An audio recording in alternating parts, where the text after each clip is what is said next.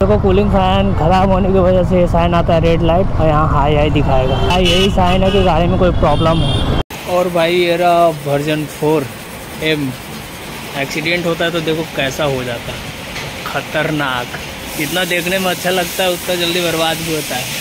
Hey guys welcome back to my new vlog और आज के इस व्लॉग में बहुत ही दुख के साथ बोलना पड़ रहा है कि मेरा गाड़ी जो बाइक है वो ख़राब हो चुका है। इसका जो कूलिंग फ़ैन है वो बंद हो गया है। ओवर हीटिंग प्रॉब्लम है। ये आपको कूलिंग फ़ैन दिख रहा होगा। ये बहुत ही हीट करता है। इसके अंदर फ़ैन लगा हुआ रहता है। वही फ़ैन खराब हो चुका तो चलिए, आज इसकी हम दूसरी सर्विस करवाते हैं और सीधे आप लोगों को मिलते हैं हम अपने गोप्रो के सेटअप पे। और क्या कॉस्ट पड़ेगा इसकी दूसरी सर्विसिंग का, वो भी आप लोगों को बताएँगे। और भाई, क्या ही बोले, बहुत ही दुख हो रहा है। इसका कूलिंग का जो टेम्परेचर है गाइज़ वो आप लोग देख सकते हैं। सीधा पचहत्तर सौ भाग जाता है। और अभी टाइम हो रहा है गाइज़ दोपहर का ग्यारह बज के। अठावन मिनट दैट मीन्स बारह बज ही गया है और ऑफ़िस से हम छुट्टी लेकर आए हैं। चलिए इसकी सर्विसिंग करवाते हैं और आप लोगों को सीधे मिलते हैं हम गोप्रो के अपने सेटअप पे।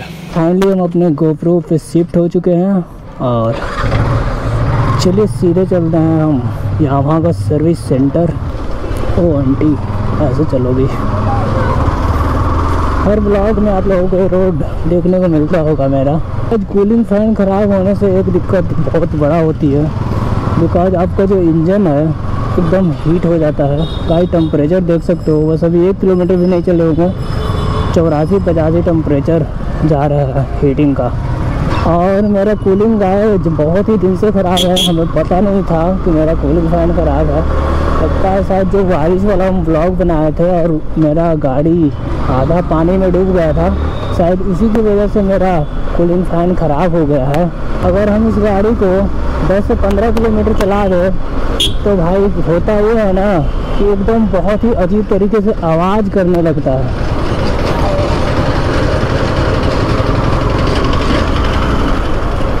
आप लोगों को हम इस वीडियो को क्लिप दिखाएँगे देखिए कैसे आवाज़ करता है मेरा बाइक देखिए यही वाला आवाज़ आता है। शायद यहाँ से आवाज़ आ रहा है। बहुत ही अजीब तरीके से। पूरा एकदम गन गन गन। आगे ट्रैफ़िक पुलिस में बनना होगा तो पूछ ले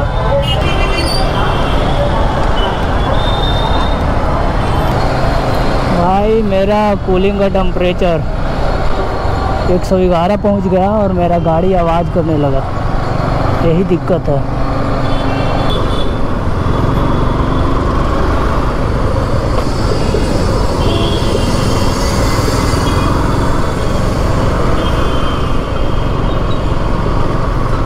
और एक पॉइंट की बात बताऊँ यहाँ का शोरूम पता है कहाँ है? साला, जहाँ पे ट्रैफ़िक पुलिस बैठता है ना भाई, वहीं पे है। अगर हो भी सकता है कि हमको ट्रैफ़िक पुलिस पकड़ ले। बस थोड़ा ही दूर में है। यहाँ पर। और भाई, रुकवाए हुए भी है एक दो को।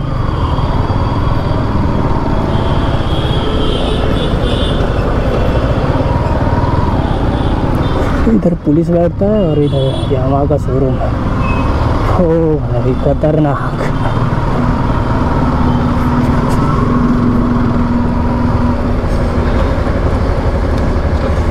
पहुँच गए तो। मेरा जो दूसरी सर्विसिंग था वो 24 तारीख का था और हम आए हैं आज दो तारीख। इसी कारण वो लोग बोल रहे थे कि जो मेरा बाइक का फ़ैन खराब हुआ है उसका वारंटी नहीं देंगे भाई दो तारीख को आए हैं। मेरा सर्विस था 24 तारीख। तो हम भी बोले भैया को तो इधर उधर करके कुछ हो सकता है। तो वो लोग बोले कि ठीक है जो आपका पिछला सर्विसिंग मिस हुआ था उसको आप लोग पेड करवा लीजिए। बाकी जो वारंटी रहेगा वो हम लोग दे देंगे फ़ैन का। और मेरा बाइक को रिसीव कर लिए ये लोग सर्विस के लिए। चले देखते हैं क्या हो रहा है। और भाई ये रहा वर्जन फोर एम एक्सीडेंट होता है तो देखो कैसा हो जाता है। खतरनाक। जितना देखने में अच्छा लगता है उतना जल्दी बर्बाद भी होता है। देखो यहाँ पे एक और वर्जन फोर लगा हुआ है भाई स्क्रैचेज देखो। कितना गंदा वाला लगता है वाइट कलर में। और मेरा बाइक हो रहा है उधर सर्विस भाई तो फाइनल बाइक में वही प्रॉब्लम निकला। जो हीटिंग प्रॉब्लम था। अभी भैया पाँच दस मिनट चला के देखेगा सारा धुआँ निकलने लगा। तो भैया, यहाँ पर का हो गया काम ख़त्म।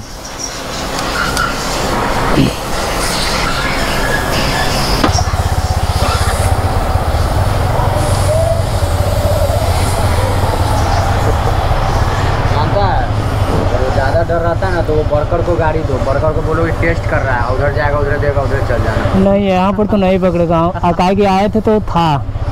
लेकिन ऐसा कोई दिक्कत नहीं आराम हाँ। भाई यहाँ पर प्रॉब्लम है ये ना कि यहाँ पर ये सर्विस सेंटर है जस्ट बाहर ट्रैफ़िक पुलिस है। तो दिक्कत यही होता है पकड़ने का।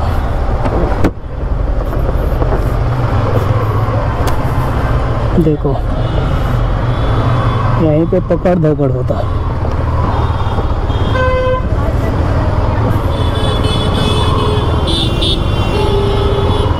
और दुख इस बात की है कि सर्विस तो करा लिए बाइक का बट जो प्रॉब्लम लेके आए थे, वही प्रॉब्लम लेके जा रहे हैं। ये लोग पहले बोले कि फ़ैन का लगेगा जो मेरा कूलिंग फ़ैन ख़राब है इस गाड़ी का, उसका लगेगा पच्चीस सौ रुपया।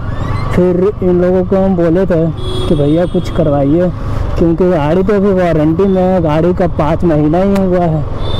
तो ये लोग आगे बात करके ऊपर बताए हमको कि ठीक है, आप एक काम करिए, आप पेड सर्विसिंग करवा लीजिए और आपका हम जो फ़ैन का है, वारंटी, उसको हम ऑर्डर कर देते हैं, उसके बाद दस दिन के बाद आकर लगा लीजिएगा, क्योंकि इनके पास फ़ैन स्टॉक में था नहीं। इसी कारण जो प्रॉब्लम है, वही प्रॉब्लम लेके जा रहे हैं। और ये लोग बोला है हमें कि अभिभावक जी, ज़्यादा फास्ट नहीं चलाना और ज़्यादा लॉन्ग टूर पे नहीं जाना। दस किलोमीटर मैक्सिमम चला सकते हो दिन में।